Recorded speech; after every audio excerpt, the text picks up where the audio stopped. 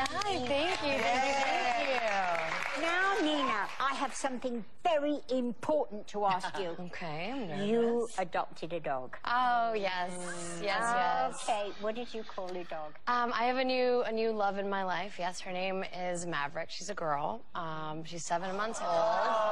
Yep, yep, there she is. seven months. She's just a yeah. beauty. She's amazing. I love her so much. Beauty. Now, I hear that um, you named her Maverick after. After Tom Cruise's character in Top Gun. Ah, yes. Yes. Yeah. Why not? Cruise is doing another Top Gun. Yes, yes. So um, you should see if you can get Maverick a apart. I am actively campaigning to try to get Maverick in the Maverick Top Gun. Well, I think he watches the talk. He Do you want to make an official Oh, plea? yes. Absolutely, Look at I his would Camera love two is your to. camera right there, right? Tom Cruise? Mr. Tom Cruise, I would like to uh, make a request. I feel that it is appropriate, since my dog's name is Maverick and your character's name is Maverick, that Maverick should be in Maverick Top Gun. Yes. Also, All right, all right. it would be lovely as well um, if she had a speaking role. Uh, if that would not be possible, then I, a background extra. I just think she needs to be somewhere in the back of one of your shots. Thank you so much. Chris.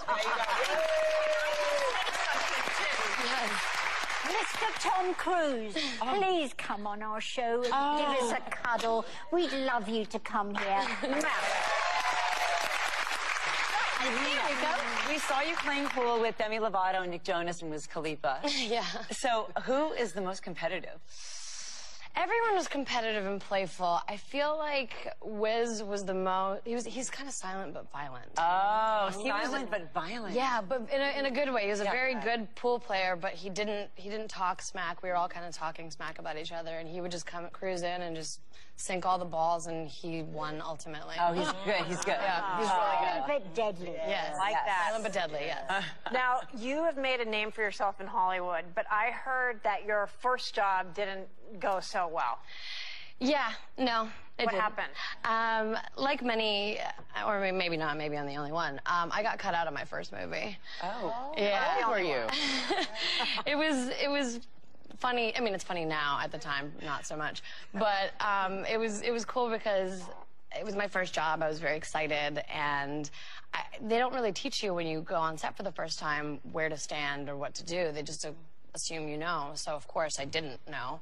And I never hit my mark. I never knew what to say when. It was a disaster. I mean, if if I was a producer or director on that film, I would have cut me out too. But they didn't tell you. You were only Yeah. a teenager, right? You were I young. was 14, I think. Well, It was a lifetime movie that will oh. remain unnamed. Oh. All right. Well, let's talk about your new movie where you you're in every scene.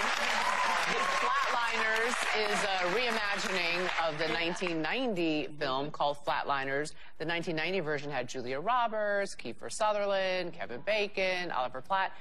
How is the one that's coming out Friday different, and who do you play in the film?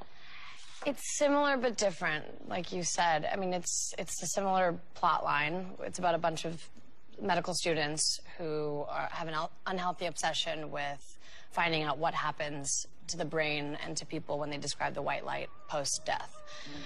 And they they stop their hearts in order to find out what that is. And a lot of crazy stuff happens as a result. And my character is Marlo. Marlo is probably the most ambitious, most determined, most stubborn student of them all, and she pushes the envelope the most. Mm. You were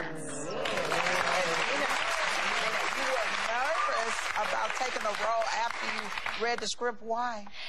The only thing that made me nervous, and I- I'm a huge fan of his work, Nils Arden Oplev, who directed the original Girl and the Dragon Tattoo, the Swedish version. If anyone has seen that movie, Yeah. you've seen how intense it is.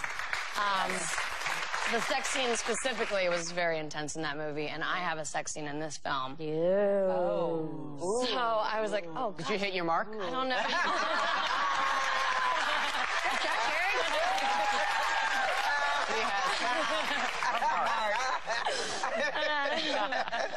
sure did. Um,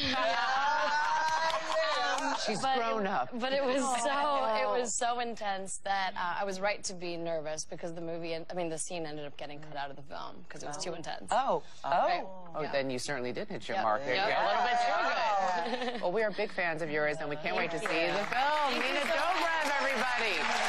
Flatliners opens in theaters nationwide this Friday, and we'll be right back.